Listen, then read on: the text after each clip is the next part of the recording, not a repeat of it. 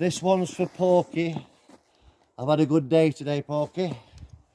And uh, I've just decided to make myself a snow plough for a bit of order in COVID. So we'll get a quick run. It's it's starting to become loose because I bought some cheap gaffer tape off eBay. It don't work very well, but I'll just give you a quick run. We're skidding a bit, Bo, but we'll go.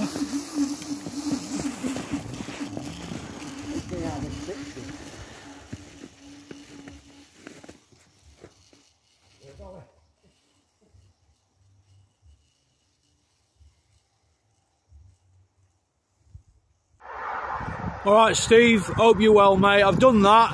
Uh, so I hope you uh, put it out Sunday. I'll send it to you next hour, mate. All right, pal. Peace out. Just been out in sweatsuit, mate, doing a bit of training. Spencer Fearon needs to watch out. Cold this morning.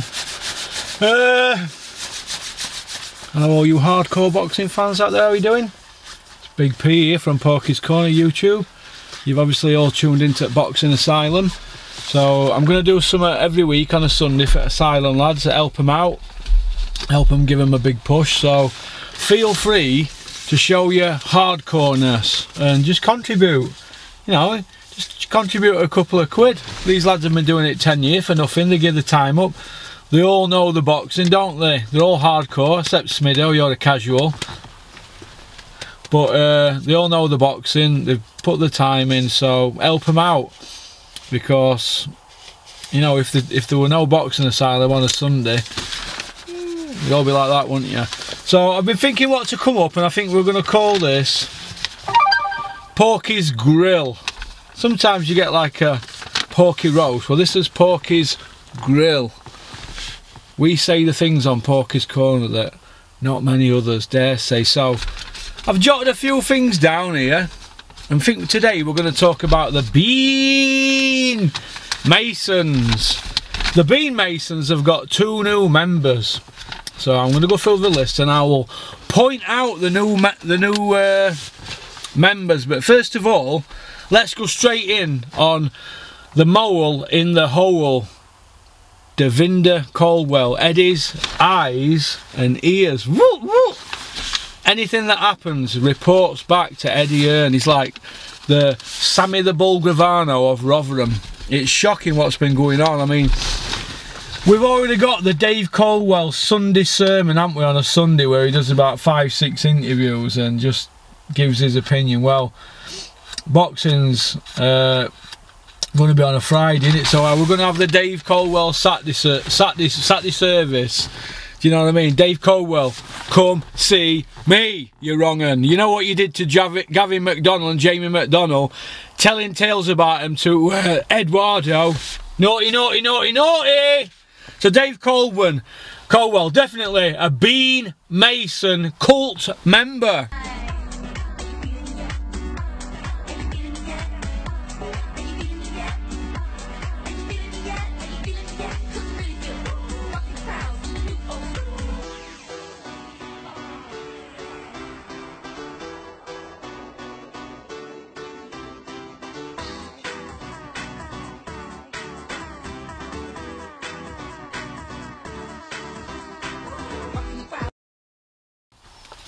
In at number two, Darren Barker. Go on. I feel embarrassed for you, Darren Barker, when I look at you, when I hear stuff you come out with. When you went over to Germany knowing that you had half a hip. How can you go fight in another country knowing that you haven't done any road work and you're just basically there to come out swingers in one round and then take your money?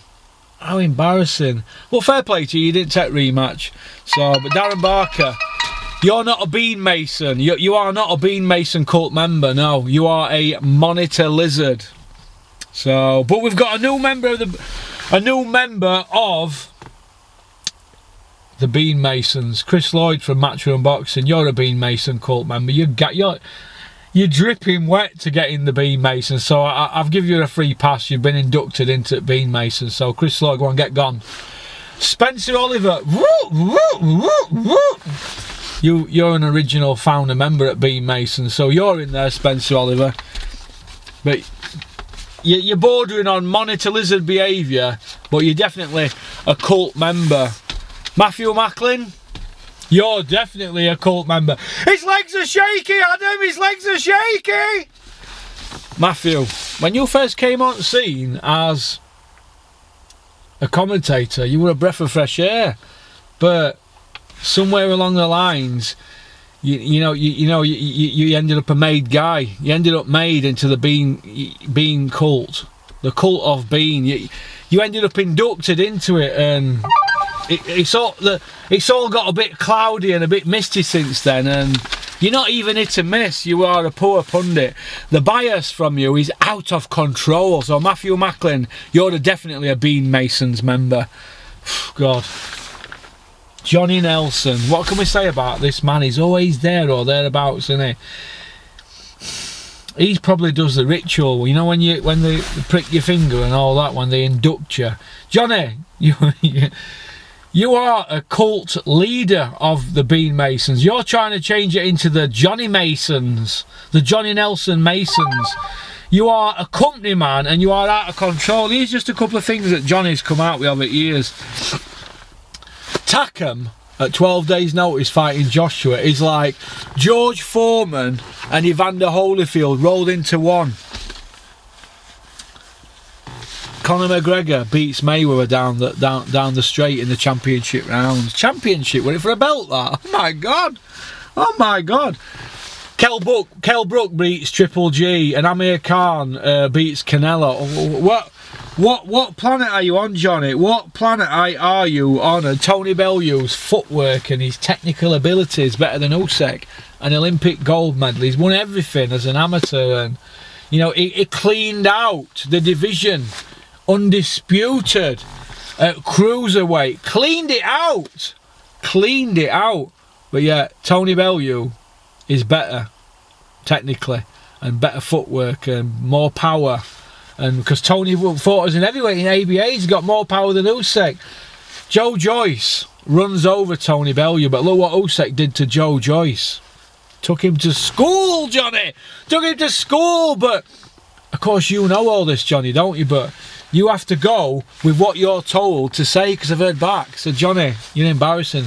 I don't even know how you've held a job. Well, we know why you got that job at Sky, don't we? We know, don't we? So we don't even need to go there, don't we? But Johnny Nelson, you're definitely a Bean cult member. You probably do it, in, like I've just said, you probably induct him in. Then we've got the man himself. Bean! Run a bean, could have been, should have been, never been. Baked bean, creepy bean, beanie. Rumpelstiltskin, we're on to you.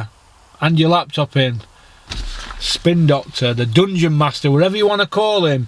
Jigsaw's sidekick out but Adam Smith, you are a scary mofo. Very, very scary. I'm frightened to death of you. But please stop.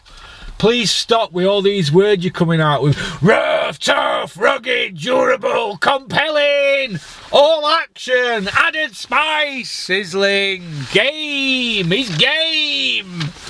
Please stop it. Please stop it, Adam Smith. Old Rumpelstiltskin. Tony Bellew. The disappearing man.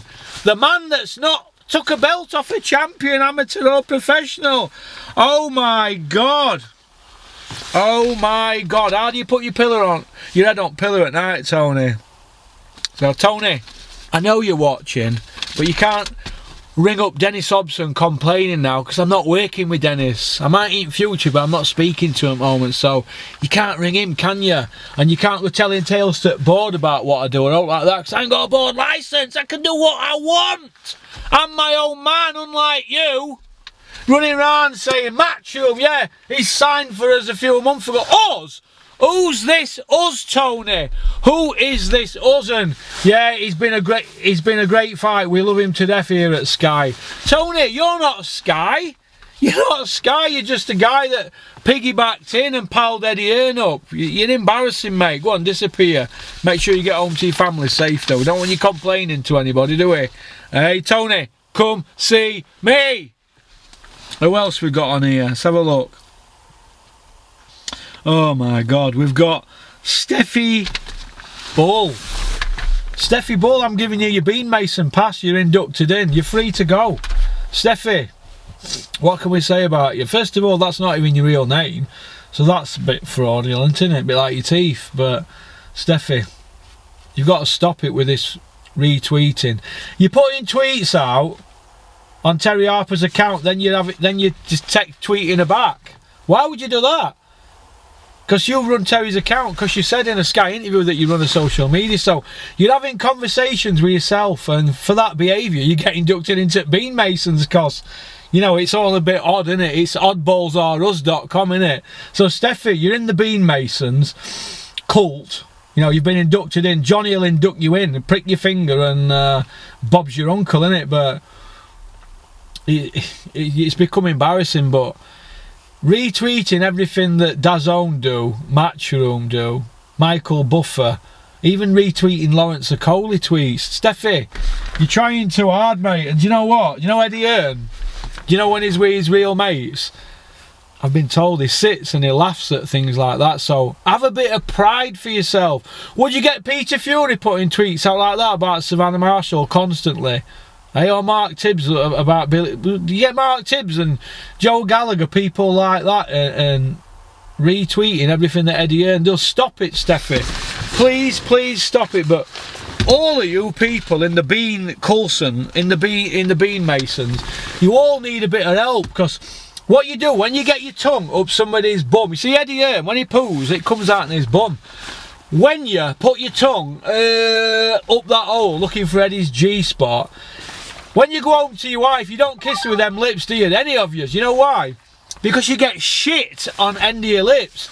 And I've got a, a solution to that. Do you know what you need? TCP.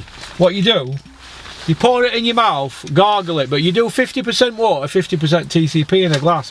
Throw it in your mouth, spit it out, and the stronger it gets over the coming weeks, what happens is it's like neat TCP. It kills germs straight away. The more it burns, it kills it straight away. So that's what you need. You need some TCP, I'm afraid, chaps. But it's going to be interesting to see how all you Bean Mason cult members back up this show here, the Dillian Whyte pay-per-view. Dillian Whyte headlining not fought for a European or a world, been knocked out twice. Fighting a guy who's 42 in September, who's already knocked him out once. 20 quid pay-per-view. Chief support, Fabio Wardley, white collar fighter. Who, who's doing alright, but let's have it right. He's from White Collar, and he's Dillian Whyte's fighter against Eric the school teacher, Molina. What's he, about 40 year old? Then we've got Campbell Hatton, who would probably be better served helping Josh Warrington's card to try and build Josh Warrington up as a pay-per-view star. Because Josh Warrington's, he's undefeated and he's gone through every single level, beat everybody he's fought. But I don't see him being pushed for a, for a pay-per-view fight. Same as I didn't see Callum Smith, who, who ended up going through all levels and Ring Magazine champion. He never got pushed for a for a, a pay-per-view fight, did he, Callum Smith? So why are you building up Dillian Whyte as this big pay-per-view monster in his six pay-per-view? Not fought for a European title yet! Not Wembley back Joshua for four belts! Do you see where I'm coming from? Josh Warrington's won everything! And you're not building him up for a pay-per-view. You're putting him in with a guy who in November weren't even ranked in the top 15 in the IBF. Fights a guy 28 and 10 and all of a sudden he's dropped in at number 10 in the rankings. Oh my God. Josh will dust him down, but he deserves better. He deserves better. You're parking him up. I don't know what you're doing with Josh Warrington, it's shocking. You, this is a kid here that can sell out Elland Road. It can sell out Elland Road when we get back. Elland Road, who can do that? It should be pay-per-view, Josh Warrington. Are you out of your mind, Eddie? Jeez, a Dillian Whyte pay-per-view is six. Don't even get me started about rematches. Every time Dillian Whyte loses, it's a rematch, you know. We're talking about rematches, and we're when he's in close fights, we're talking about rematches. But Ted Cheeseman, Eggington, Sam Eggington didn't get his rematch, and everybody said they could flip a coin who won. Harper Jonas, that never got a rematch, did it? It's not even mentioned. Kugan didn't even mention it to you in his IFL. What's going on, Eddie? It's a cult.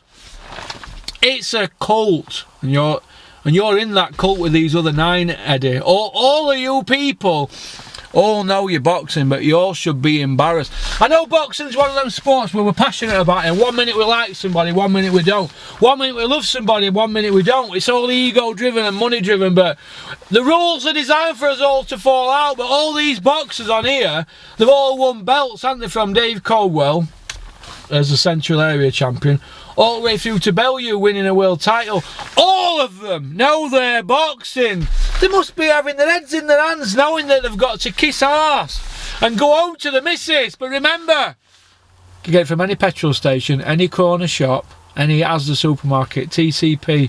It's quite expensive from corner shops. It's about three ninety five. I prefer to go to Home Bargains in Denby because it's only one pound fifty. That's what I use every day, and I don't rim anybody because it kills bacteria. All right, but this I can't. Listen, it's embarrassing what's going on. So it is what it is, isn't it? But we've covered everybody, haven't we? We, we know who the Bean Masons are. Dave Coldwell, mole in the hole, Eddie's eyes and ears. Got a little bit of a competition. Two seconds.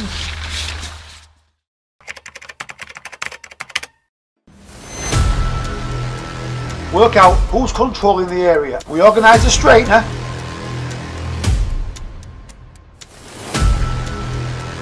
You know who the fuck I am? I'm the fucking main man. You've got until Friday. If I don't get my money, you're fucking dead.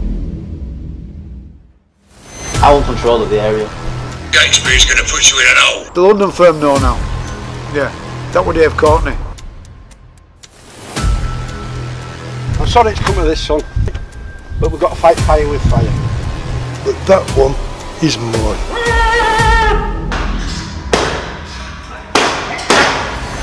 Come on then, let's fucking have you! We're looking at the sentence, aren't we? Six o'clock. Scrapyard. Don't be carrying, because I won't be. I work for Pretty Boys, so you stay away. Herbie Eyes just walked in. You've got problems.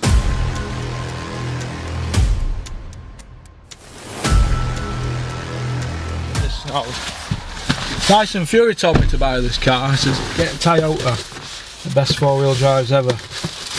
Big Land Cruiser man Toyota, isn't it? Right, competition. I think this is its third pair, is it? Size 7 to 12. I think they're about like tennis shoe. I'm a Nike man myself, but. The winner of the competition has to log on and send me a screenshot that he logged on because they like to send you emails and stuff like that. But uh, the, the question is this this is the question. Tony Bellew has four wins over world champions, former, current, and future. Right, former, current, and future on his CV. David David Haye held together by Papa Mache and masking tape from Bullseye in Edlington. Uh, Ilunga Makabu, he weren't a champion when he beat him, but he went on to win a title. Who was the other former champion? It was a former champion who he beat, Tony Bell. Your First person, porkycorner at mail.com email, gets a pair of them. Alright? Once you send me a screenshot. The first person. So be quick. Be quick. You should all get this one pretty easily, but you've got to be quick, alright? Because there's talkers and there's prawn cocktail walkers. I think that's about it really. Big shout out to uh, RDX who do gloves and that. Used they sent me this sweatsuit, so it's the first time I've had it on. had a little, a little bit of a, uh, bit of a trot today, or a fast walk, should I say? But uh, that's about it really. So peace out, keep on trucking, keep sporting boxing. Don't forget to contribute at least two quid. Just put two quid into into a boxing asylum. You know how to do it. Give all lad, give, give them two quid if. If 100 of you give 2 quid, they've got 200 quid in pot? They've got a bit of expense money, they've got a bit of summer. There's no money in this, what we do, but if you can get a bit of summer, like a few free gifts or anything like that, you can do it as your passion, can't you? Or even if you're getting a few quid, it's for your time and effort. So help them out, because they're there every Sunday, rain or shine, they never let you down, alright? Peace out.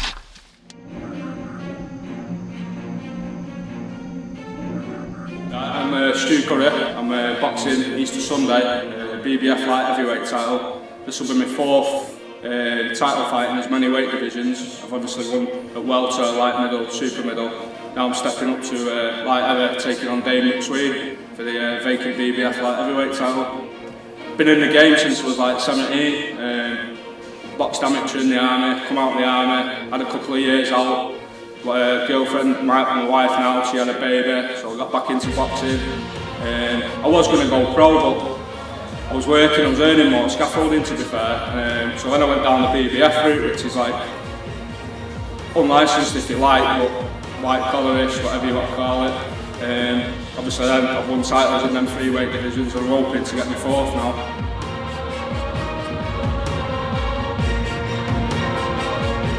Here with uh, Stu Red Hot Curry. How you doing, Lee? Yeah, good mate. Yourself? I am, I'm well. I've just been enjoying it down here. I uh, obviously I used to train on the other side of the, this gym. Yeah, Oliver's was it? Uh, no, it wasn't Oliver's then. It was uh, it was Arrows. Right, Uh, okay. Oh yeah, yeah, top of the road. Yeah, that's yeah. right. Yeah. So uh, we, that's where we started. Right. And uh, you've been here a fair while yourself, mate. Yeah, I've been in and out of here about 20 years now, Lee. Well, the reason why I've come down is because March 27th. Once again, you're telling me It's my last fight. you know, it definitely is this time, 100%. fight number 55. 55 uh, in a fourth weight division, hoping to win a fourth title in that in a weight division. Mm-hmm. Uh, won titles at welter, light middle, super middle. So I'm stepping up actually two weights. No, it's not. It's one weight, isn't it? Yeah, from Yeah, super middle from super to, uh, middle to light light heavy. Yeah, yeah, Well, you've done it step by step. yeah, yeah. I missed out on the middle weight though. That was a killer. Oh yeah. Yeah, did, yeah.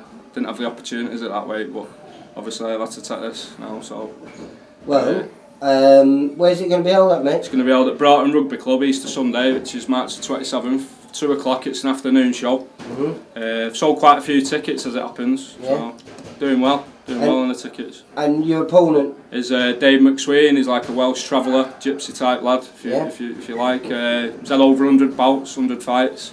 He's well experienced. He's well experienced. He's 10 years younger than me. At 28, I'm nearly 39.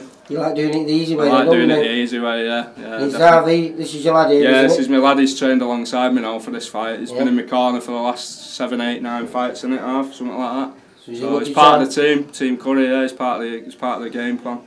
and hopefully you're going to be uh, now once you retire. Yeah, putting gonna... all my efforts into him. Not just him, but other lads in the gym like you've seen out there tonight. The Polish lads are sparring with. Yeah. Um, I've been I've been drilling them for about a year now, in and out of the gym. You know, just taking Well, them on the you pads. said you were looking to try and get St Boniface's re-established as Oh. a, an amateur club maybe. Yeah, uh, yeah, it's something I might I might start looking at because obviously it's a gym that's close to me. I box for them as an amateur. Yeah. And um, this this was actually the gym we trained in. Yeah. yeah, under Ali Stievelman uh, many many moons ago. So Well, it's nice to be uh, the last one here then. yeah, well yeah, I'm the last man standing, and sort of say yeah, definitely. So this is, like say, it's, it's a big ask, mate, you know. moving It a big weight. ask, it is, yeah. But uh, I've got that I've got that amateur background. I've got that experience of having them 50 odd fights. I've I've obviously won more than he has. Yeah. He's b- been more of a bit of a journeyman, but it's that step up in weight, like you say, Lee. It does make a big difference. And the 10 it? years in age, you can turn, like you know, you can turn into an old man overnight, can't you? And uh, What do you reckon, Harvey? What do you think about your dad? Do you think he's a bit mad? He's cuckoo. cuckoo. yeah, definitely. But he'll be there in the corner someday. Definitely the last one. Is, is Mike going to be in your corner as well? Uh, well, Mike's more of a promoter, s- stroke manager. Yeah. Even though like he, he trains me and that as well, so He's put the fight on, so he can't be put biased. No, no, he can't now. So And it is for the title. it is for the BBF British Light Heavyweight title. Yeah. Well, listen, Stu. Really good luck for Yeah. 27. Yeah. And hopefully next time I see you, I'll be Be a a four weight full-time- champion, yeah. champion, yeah, definitely. Harvey, take care, mate. Right. Cheers, Lee.